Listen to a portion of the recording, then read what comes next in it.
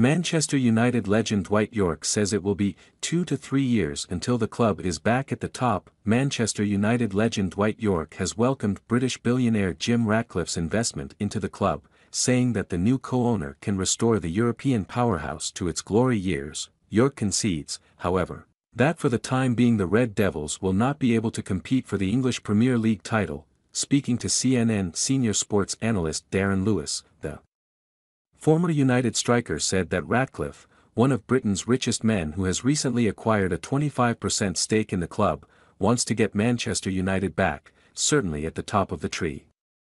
Yorke added, there is so much negativity that is coming out of the football club that it seems to manifest itself on the football pitch, and I think, with Sir Jim Ratcliffe being there, it will give us that energy and an impetus to go forward.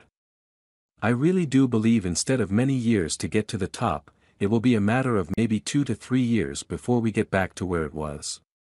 Yorke scored 66 goals in 152 games for United and was a key part of Alex Ferguson's squad that won the mythical treble, the English Premier League, FA Cup and Champions League, in 1999. Yorke would go on to win a further two Premier Leagues with the Red Devils before leaving the club in the summer of 2002.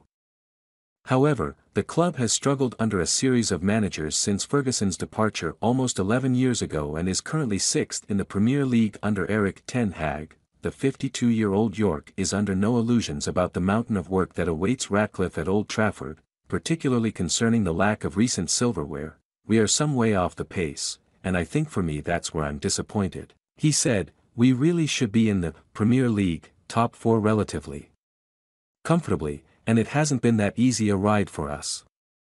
It's always been an uphill battle and I can.